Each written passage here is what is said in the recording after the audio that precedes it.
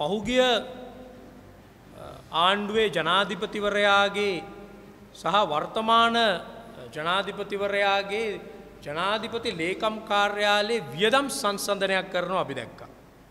අපි දැක්ක අමාත්‍යවරයා කියනවා පහුගිය ජනාධිපතිවරයාගේ මෛත්‍රපාල සිරිසේන හිටපු ජනාධිපතිවරයාගේ අවුරුද්ධක ජනාධිපති ලේකම් කාර්යාලයේ වියදම ඩොලර් බිලියන සමාවෙන රුපියල් බිලියන තුනයි දශම හතක් වුණා වර්තමාන ජනාධිපතිවර ඉතා සරල ජනාධිපතිවරයෙක් එනිසා වියදම රුපියල් බිලියන එකයි දශම හතයි කියලා.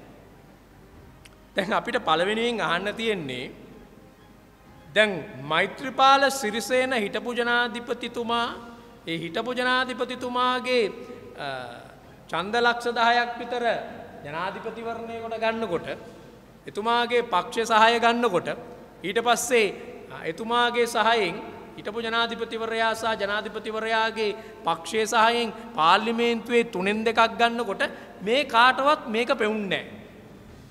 මේක පෙනිල නෑ බිල්ලිය රුපියල් බිලියන තුනයි දශම හතක් වියදන් කල්ල තියෙනවා නේද කියන එක එතකොට පෙනිල නෑ. එතකොට පෙනිල නෑ දැම් පෙනෙනවා ඔක්කොම කරගත්තට පස්සේ. ජනාධිපතිවරණයක් දිනලා පාලිමේන්තුවේ තුනෙන් දෙකත් අරගත්තට පස්සේ කියනවා මේ මුගුල්ල වියදම් කරලා තියෙනවනේ ජනාධිපති ලේකම් කාර්යාලය වියදම 3.7ක්නේ කියලා. ඒක එක කාරණයක්. අනෙක දැන් කියනවා අපි දැන් වියදම් කරලා තියෙන්නේ රුපියල් බිලියන 1.7යි. මං කියන්නේ රුපියල් බිලියන 1.7ක් වියදම් කරලා තියෙන්නේ මේ පහුගිය අවුරුද්දේ නම් පහුගිය අවුරුද්දේ මොනවද ජනාධිපතිවරයා කරලා තියෙන වැඩ? රුපියල් බිලියන 1.7ක් වියදම් කරනවා කියන්නේ සාමාන්‍යයෙන් පහුගිය අවුරුද්දේම මං හිතන රට වහලා තිබ්බේ. ජනාධිපතිවරයාට පිටරට යන්නත් බැරුණා ගියෙත් නැහැ වෙන කවුරුවත් මෙහෙට ආවෙත් නැහැ ආ විශාල ව්‍යාපෘති කරගන්න උනේත් නැහැ ආ එහෙට මෙහෙට යන්න උනේත් නැහැ එතකොට එහෙම යන්නේ නැතුව මුළු රටම ලොක්ඩවුන් වෙලා තියෙද්දි සියලු දෙනාම ආ එහාට මෙහාට නොයා ලොක්ඩවුන් වෙලා තියෙද්දි ගෙවල් වලට හිර වෙලා තියෙද්දි වර්තමාන ජනාධිපතිවරයා කොහොමද සරල වෙන්නේ රුපියල් බිලියන 1.7ක් වියදම් කරා නම්?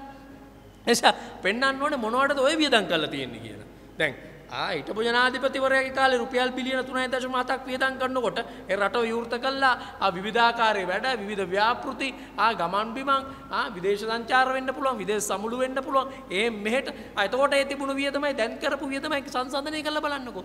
මේ රටක් වහලා තියෙද්දි රටක් වහලා තියෙද්දි කොහොමද ඒ වගේ දැවැන්ත මුදලක් වියදම් කළේ? ඒක ඒක ගැන ඒක ගැන වෙනම සාකච්ඡාවක් ඕනේ. ඒක ගැන වෙන විමර්ශනයක් කරන්න ඕනේ. මුළු රටම වහලා තියෙද්දි කොහොමද ඒක උනේ කියලා. මුළු රටක්ම වහලා තියෙද්දි. එනිසා මේ වගේ අර අපි කියන්නේ මේ මාධ්‍යයට ඇවිල්ලා මේ වගේ නිකන් අන්ධ කයිප්පුල් කතා තමයි කියන්නේ. වැඩක් කරගන්නත් බෑ කරලා පෙන්නලත් නෑ. මේ වගේ ඉතින් අන්ධ කයිප්පුල් කතා ටිකක් කිය කිය ඉන්නවා. breaking.lk